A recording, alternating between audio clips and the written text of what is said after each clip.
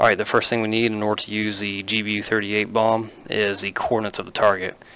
Um, this map right here, you can see my target is at Novo Airfield, and I'm on the bottom right in the A-10 over at Gelendzhik. So the JTAC gave me the coordinates to the target, and I'm going to enter it into my aircraft's CDU. If you haven't seen the tutorial on how to enter UTM coordinates into your CDU to create a waypoint, you need to go watch that tutorial first.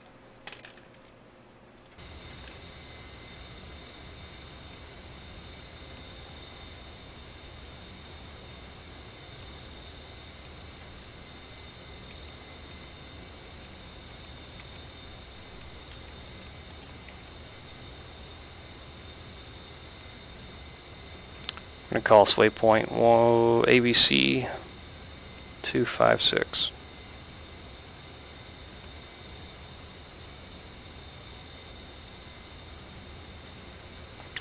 Alright, so we're going to use coolie hat forward to make our HUD SOI.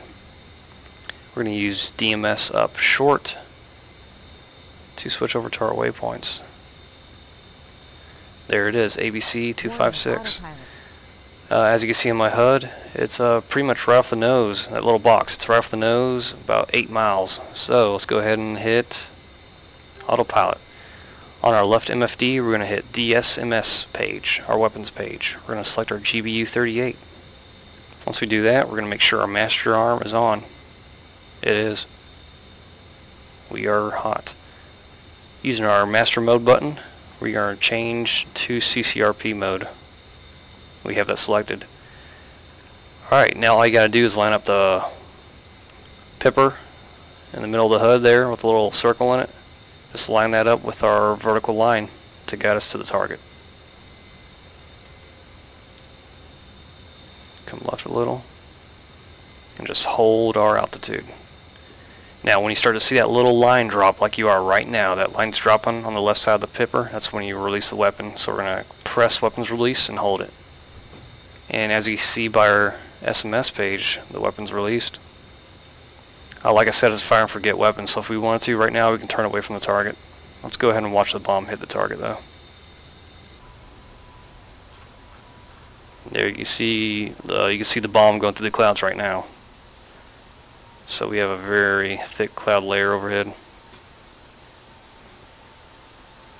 There's the airfield below us, where the target's at.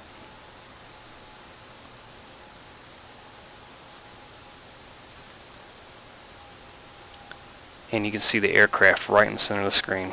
There it is, it's getting closer.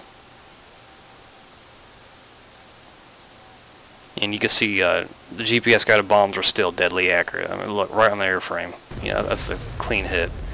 You know, GPS guided bombs aren't as accurate as laser guided bombs, but they will get the job done regardless.